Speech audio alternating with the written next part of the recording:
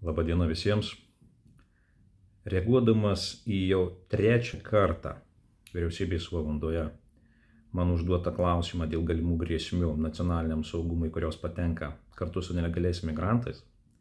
Ir taip, kad tiek premjerė, tiek vidaus reikalų ministrė neatsako konkrečiai į man užduotus klausimus, išsisukinėja, apsimeta greičiausiai, kad klausimas nebėra toks labai svarbus, aš esu priverstas dar kartą pakomentuoti visas grėsmės ir padaryti šį vaizdų įrašą. Akivaizdu, kad su nelegalia migracija į Lietuvos teritoriją kartu su migrantais patenka asmenys, kurie vienai par kitaip gali priklausyti tiek teroristinėm organizacijoms, tiek nusikalstamo pasaulio atstovams, tiek su šnipinėjimu susijusioms aplinkybėmis. Ir tie nugastavimai mano pasitvirtino šimtų procentų po vakarykščio Nacionalinio saugumo ir gynybos komitetų posėdžių. Posėdis vakar vyko taip pat labai keista forma, apie tai nebuvo niekam pranešta, nei žiniasklaidos atstovams, nei darbuotojų pažymėta. Jis buvo kažkodėl tai pavadintas briefingu, nors į jį susirinko visos specialios tarnybos, tai ir saugumo atstovai valstybės, kariniai žvalgybos, Lietuvos kriminalinės policijos biuro, generalinė prokuratūra, valstybės sienos apsaugos tarnybos atstovai.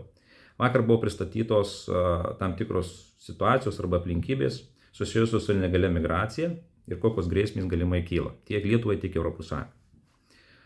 Dėl suprantamų priežasčių negaliu viešai visko komentuoti, bet tik tai tas faktas, kad taip nustatyta, kad su migrantais patenka tokie asmenys. Savaime patvirtina aplinkybės, kad grėsmės kyla labai didelis.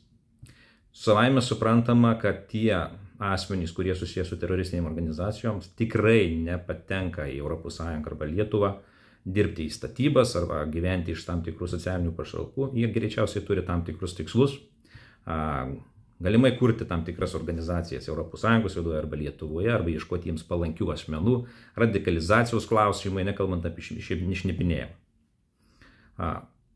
Kadangi šios aplinkybės po tam tikrų klausimų, kuriuos užduodavo vyriausybės valandos metu, premjerė atrodė nelabai svarbius, nes jinai pasakė, kad grėsmių jokių niekur nekyla.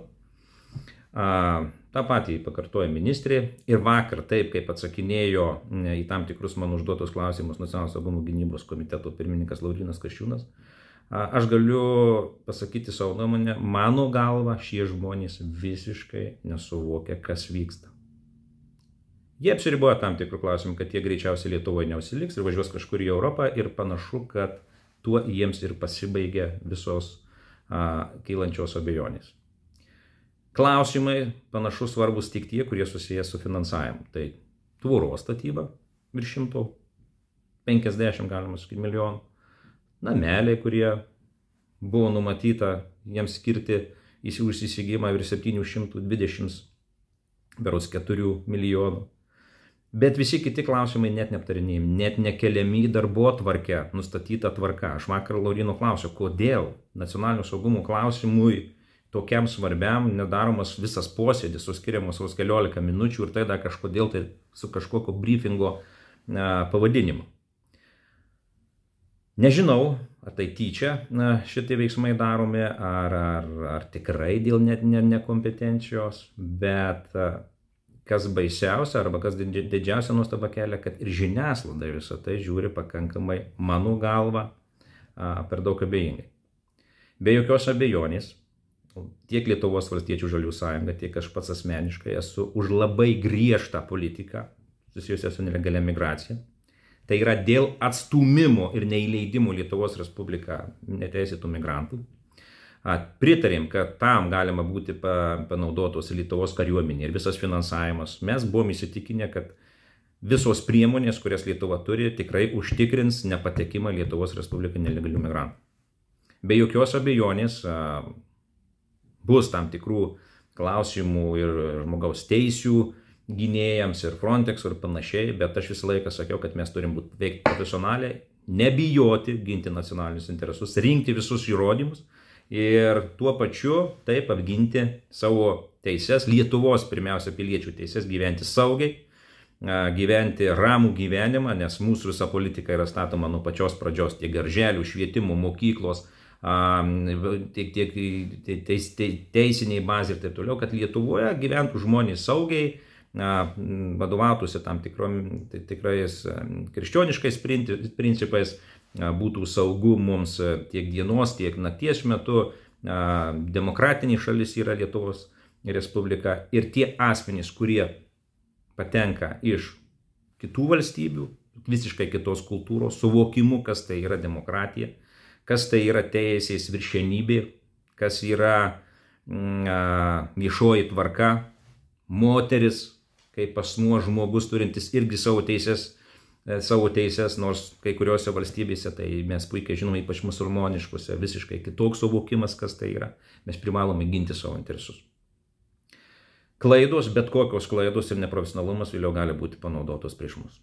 Ir vakar komiteto posėdžio metu paaiškėjo dar viena skandalinga, iš, iš ties labai bloga aplinkybė arba situacija arba faktai, kad tie migrantai, kurie patenka į Lietuvos Respubliką, nepastebėti, jau kerta Lietuvos sieną, jie, jie sulaikomi piliečių pagalba, juos aptinka prie parduotuvų ir taip toliau Lietuvos gilumoje juos surenka mūsų tarnybos, vakar buvo kalbama apie valstybės sienos saugos tarnybos pareigūnus, ir juos pareigūnai veža prie Baltarusijos, Baltarusijos sienos, juos gražina į Baltarusiją ir nurodo, kad patekit, prašom per tam tikrus punktus arba per ambasadas, jeigu norite kažkokio tai prieglučių. Aš noriu pabrėžti tam tikras aplinkybės žmonėms, tiems, kurie nesuvokia, kas tai yra blogai. Dėl ko a, aš dabar tai akcentuoju. Pabrėžiu, bet kuris asmuo nelegaliai kirtęs valstybinę sieną yra padaręs nusikalstamą veiką ir privalo būti įvertintas tas veiksmų teisėtumas. Bet Lietuvos baudžiamasis kodeksas numato baudžiamą atsakomybę. Tačiau numato išimti, jeigu asmuo paprašo prieglaušio, nu tada turi vėl priimti procesinį sprendimą, tai yra atsisakyti pradėti ikiteisminį tyrimą. Negali būti jokio kito veiksmo tokio, kad paėmė ir išmetė galima nusikaltėlį į kitą, į kitą teritoriją, tai automatiškai patys daro nusikaltimą. Atstumimas, atgrėžimas galimas iki Lietuvos Respublikos sienos ribos. Viskas. Jeigu asmo jau kerta, veikia tam tikri principai. Pirmiausia, tai yra, aš tokios griežtesnės politikos, tai yra baudžiamo atsakomybė. Padarėjai nusikalstamą veiką, pradėjai teisminį tyrimą ir viskas, deportuoji, be jokios teisės ateityje gauti kažkokią tai prieglopščio teisę prašyti ir panašiai. Tai yra darbas, taip, sudėtingas darbas, mes, bet mes ir prieimėm įstatymus, kad galima pasijungti ir kariuomenę, ir kitas tarnybas, kad su, su tom grėsmėm susitvarkyti. Bet jeigu yra nurodymas, kad nebe jokio įvertinimo, teisinio, jūs pagalvokit, galimai padarė nusikalstamą veiką, kirto sieną Lietuvos Respublikos. Lietuvoje padarė nusikaltimą žmonės be jokio vertimo išmetami, nuvežami prie sienos ir atiduodami. Jeigu tai yra užfiksuojama, o mes matėm, kad žiniasklaidos priemonės jau užfiksavo, ko gero ir Frontexas užfiksavo, šitos žioplos klaidos sugadins visą mūsų politiką atgrėžimų.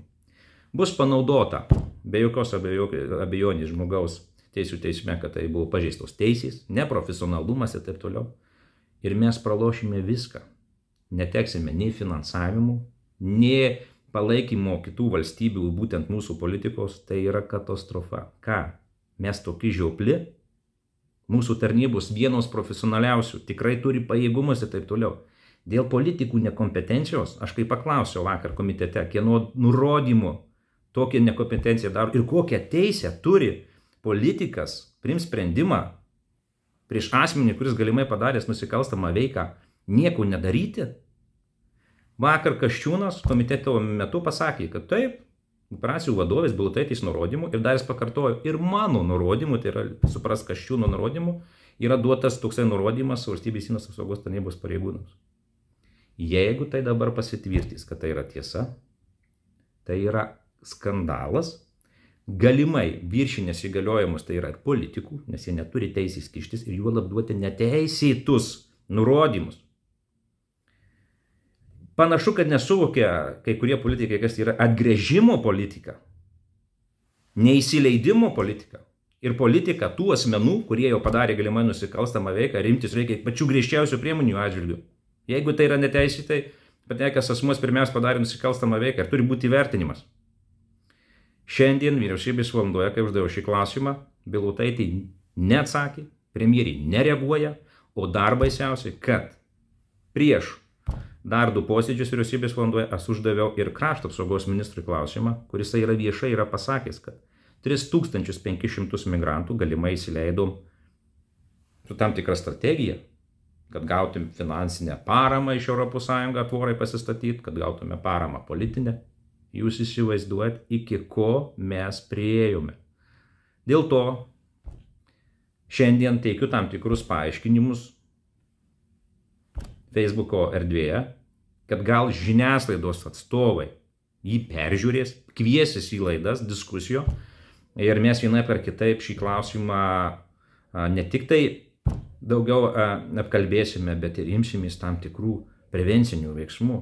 Nes tai, kas dabar vyksta, tai nėra teisinės valstybės požymis, tai yra silpnos valstybės, nors mes tikrai tokie nesam, dėl to negalim leisti dėl kažkokių tai politikų nekompetitingų veiksmų kitoms, kitoms valstybėms, kitiems partneriams taip galvoti. Aš, Dainius Gaižauskas, su savo tam tikra griežta pozicija ir laikiausi ir laikysiu ir sakau, mes palaikome griežtą atgrėžimų politiką, bet tai turi būti teisėtais būdais, maksimaliai profesionaliai, nes tik tai taip atgrasysim nelegalius migrantus patekti į Lietuvos Respubliką.